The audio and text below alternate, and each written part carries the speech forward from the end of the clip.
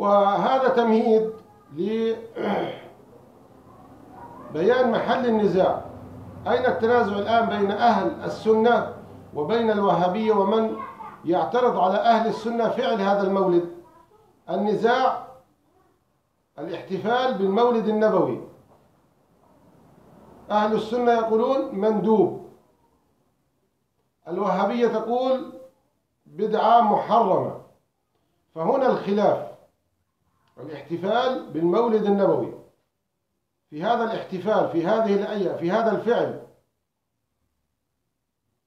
النزاع هنا في هل هو مندوب أم هو محرم بدعة محرمة أم بدعة مندوبة أم بدعة واجبة أم بدعة مباحة أم بدعة مكروهة.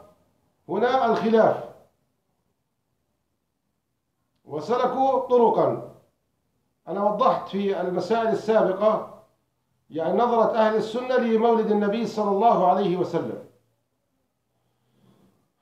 والآن سأبين محل النزاع والمرجحات التي أفتى بها علماء الإسلام والرد على الخصوم.